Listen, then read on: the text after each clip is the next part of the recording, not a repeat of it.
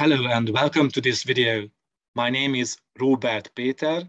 I teach courses related to research methodology, British history and culture at the University of Szeged in southern part of Hungary.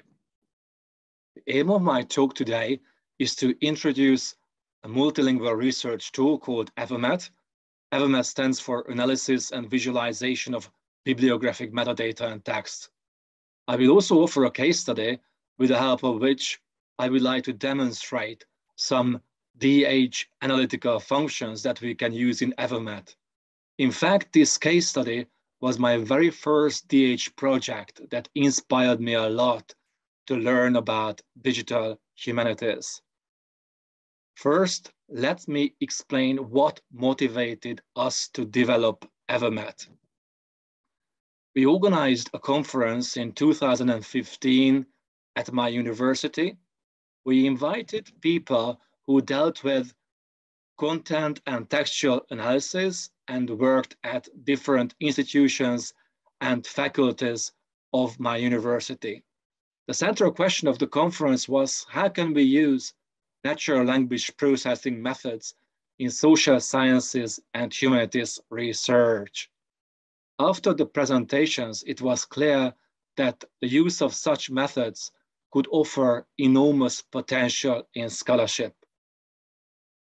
The organizers of the conference were so enthusiastic that after the event, they were actively involved in the establishment of the first Hungarian peer-reviewed digital humanities journal called Digitális Bölcsészet. However, we also faced challenges during this conference.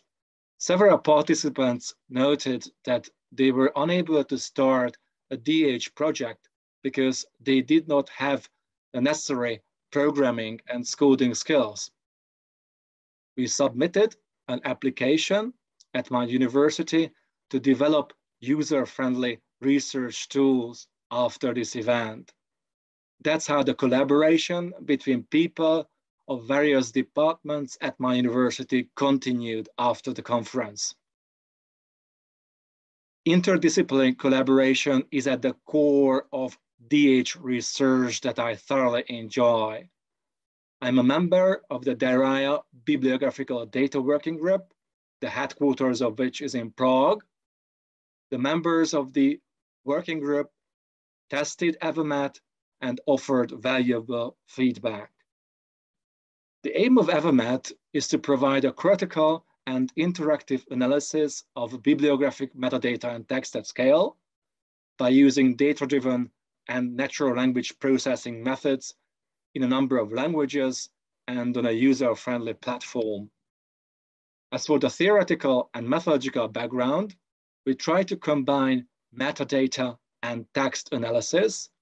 By doing so, we can ask much more complex and sophisticated research questions than by simply focusing on textual analysis. Most NLP-based text analysis tools made only very limited use of bibliographical metadata. We also wanted to combine close and distant reading approaches. Close reading is a mode of analysis that pays special attentions to the specific details, complexities, and nuances of a passage or a text, whereas distant reading is a data-driven research method that aims to unveil and analyze repeated patterns, hidden connections, trends, and parallels in large quantity of text. This is the workflow in AVOBMAT. Users should, of course, upload their text and metadata. There are certain tools with the help of which they can clean the noisy and dirty uh, corpus. They can configure all the parameters the parameters for all analytical tools. Afterwards, they can select the subcorpus on which they would like to run their analysis by searching, filtering, and refining the main corpus. Then uh, comes the analytical phase. They can perform textual and uh, data mining analysis and visualize their results and of course, they need to interpret um, the findings. Finally, they can export the results in various formats as well as the uh, configuration settings for the sake of reproducibility. That's how the AVOBMAT interface looks like. On the top, you can see the different analytical uh, uh, functions and tools. In this short talk, I can only introduce half of them. On the left, you can see the uploaded databases, the facets, uh, such as publication year or authors. Users can perform advanced searches and command line uh, searches. The metadata visualizations in AVOBMAT are interactive. It is the task of the user to choose which metadata fields she or he would like to analyze and how, what types of uh, diagrams and charts uh, she or he would like to use during the analysis. This is an example of a network visualization. You can see an author, publisher, bookseller network of 340 18th century Masonic related books. With the naked eye, you are unable to observe the connections between the different agents of uh, this book industry. You can also visualize a sub-network of this uh, database. AVOBMAT fosters critical analysis. It identifies and visualizes missing values and data gaps of the uploaded databases. On, on the right, under the author field, you can see the missing value uh, value. Users cannot ignore the missing values when it comes to analysis and interpretation of the results. It also highlights biases and errors in the databases, whether they are selection, metadata, or classification biases. This is example for uh, metadata visualization. You can perform the gender analysis of the authors uh, of a given database. Here you can see the female, male, author, and authors without unidentified gender in a linguistic subcorpus of uh, one of the university databases. You can see the data gap at the end of 1940s and early 1950s. And um, when the entry contained a name like G. Smith, we could not tell whether uh, J stood for Julia or John. Um, that's why we visualized this uncertainty in the data set and called it authors with unidentified gender. Let's move on to the case study that draws on the different representations of Freemasonry in 18th century British and Irish uh, press.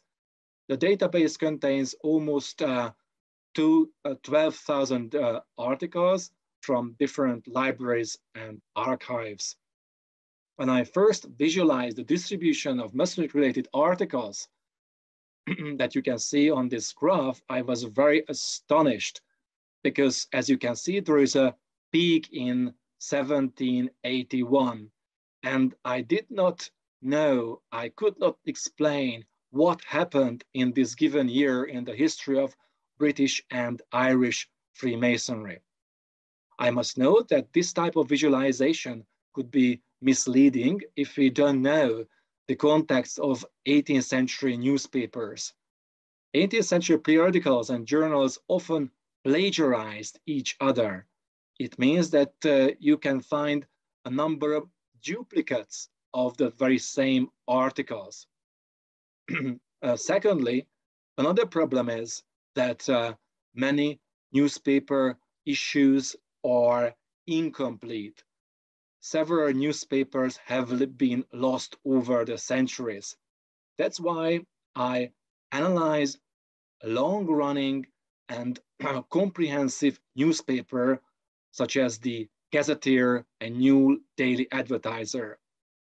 It also uh, shows a peak in 1781, but it does not contain any duplicate items. Let's introduce the significant text analysis function of AVOBMAT. It enables users to compare a subcorpora, a filtered subgroup of the dataset with the entire corpus. It identifies the significant and unique characteristic words of a subcorpus compared to the entire corpus. Of course, I filtered the newspaper articles to the year 1781. And uh, on the word cloud, you can see the unique words characteristic of the articles published in this year.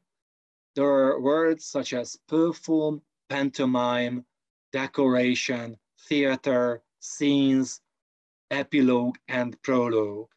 We can easily conclude that many of these words are concerned with theater. So we can assume that something related to theater uh, could take place in 1781. But let's, uh, uh, it, the, the AVOBMAT also shows uh, the statistical information about this subcorpus, the significant words in a bar chart. Let's move on to another uh, uh, type of um, analysis. This is known as the text sphere. You can visualize and analyze the context of a given keyword. Here the keyword is uh, the word Freemason, and I set up the word distance for, and I would like to explore the words uh, on the left and right uh, of the word uh, Freemason. This is the word cloud. And again, we can observe several terms related to theater, such as perform, pantomime, and harlequin is really a unique term, very close to the word uh, Freemason within one word distance. So let's reveal the secret. Harlequin Freemason was a very successful uh, pantomime that was performed 63 times in London between 1780 and 1781.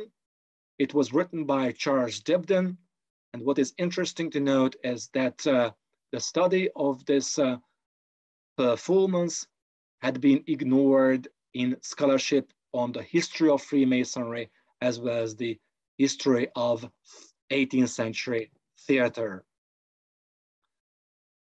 AVOBMAT users can read the articles related to Harlequin Freemason by using the keyword in context or concordance function. I'd like to introduce topic modeling. Topic modeling clusters documents in semantic groups. The idea is to find hidden semantic information by using statistical methods to discover the themes that are embodied in the text and reveal the connection of these themes and their changes over times. I wanted to analyze nine topics and you can see the words uh, related to each cluster.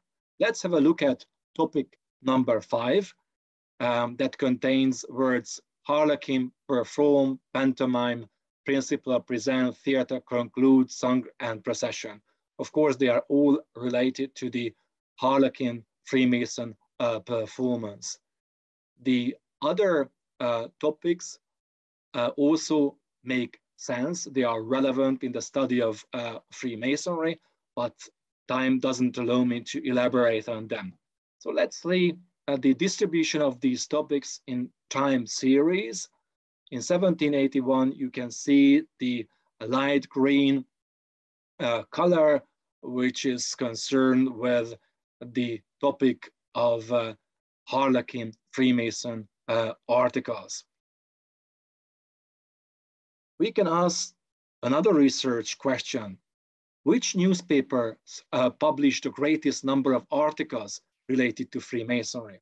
You can see the results here the Public Advertiser, the Morning Chronicle and London Advertiser, Morning Post and Daily Advertiser, and the Gazetteer and New Daily Advertiser are on the top of the list. Why did these newspapers publish so many articles about Freemasonry? To answer this question, I examined the owners and editors of these newspapers. It was very interesting to observe that jo James Perry was a, the editor of the Morning Chronicle and the Gazetteer and New Daily Advertiser. He was not only a professional journalist in the late 18th century, early 19th century, but he was also a high-ranking Freemason, a deputy Grand Master of the Antients Grand Lodge in the late 1780s. He was so influential person in the history of Freemasonry that he helped to prepare the Articles of Union that basically signified the union of the two rivaling Grand Lodges in 1813, even signed this uh, document that you can see on the left. Although James Perry played a crucial role in the history of Freemasonry, he's totally ignored in scholarship on the history of this brotherhood. Finally, I'd like to uh, mention some useful digital humanities tools, such as Lexos, that you can use for cleaning and analyzing tests. OpenRefine is also a very useful tool to clean data sets spreadsheets. Voyant Tools is a web-based text analysis tool. And I'd like to recommend you Laurence Anthony software, the AntConc and Sarand, with the help of which you can correct, for example, common optical character recognition errors. To conclude, in this short talk, I offered an ideal case study. It is ideal because scholars have not examined newspaper articles related to Freemasonry so far. We have seen that uh, we could highlight unknown connections and trends uh, that are impossible to identify with traditional research methods.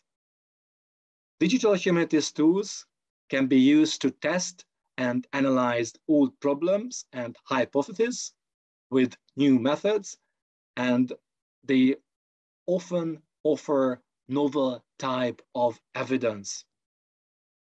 In this talk, I wanted to stress the importance of digital source criticism. For me, digital humanities is really great fun. I encourage you to be open to the novelties and surprises in digital humanities research. Thank you for your attention. And if you are interested in the development and release of AVOBMAT, please feel free to sign up for this newsletter.